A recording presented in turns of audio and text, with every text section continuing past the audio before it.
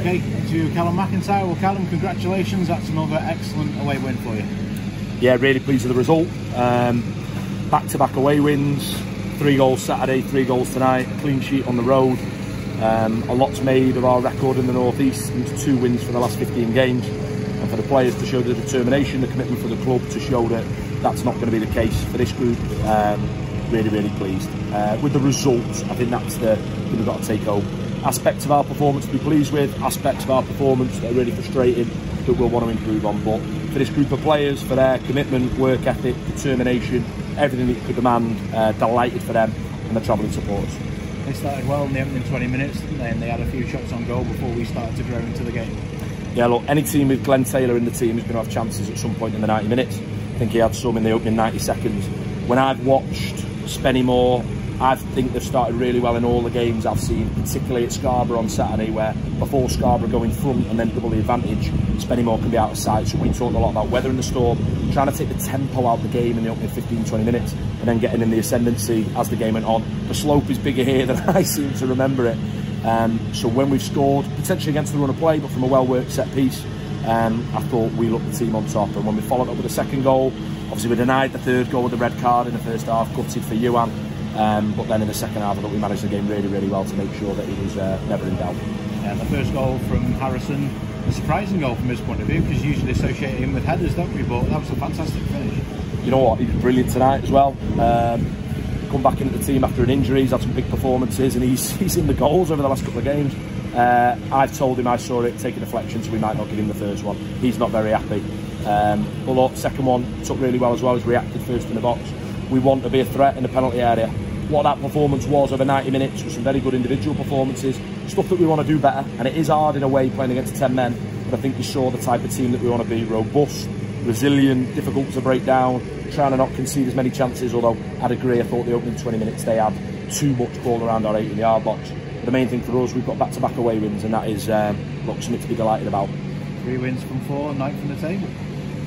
Uh, tables are relevant until everyone's played each other at least twice, so come the end of the season. For us, it's about the points target where we fell short in block one, just short in block two, block three.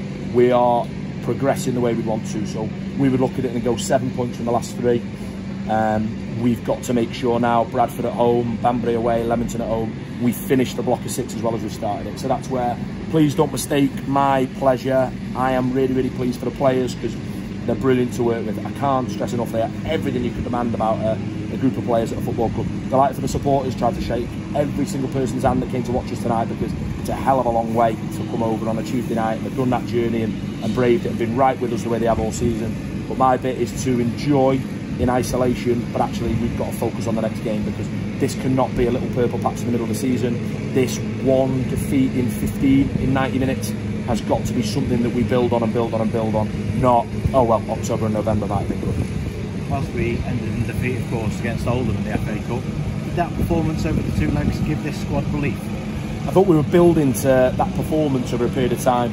If you look at the first five games, losing three in the opening five was painful, really difficult, really challenging, both for individuals, for the group, uh, for all of us involved but you could see the challenges that we had early on in the season. I think you can still see them now. We're nowhere near the finished article about what I want us to be over a, a one game, two, uh, sorry, one season, two season period.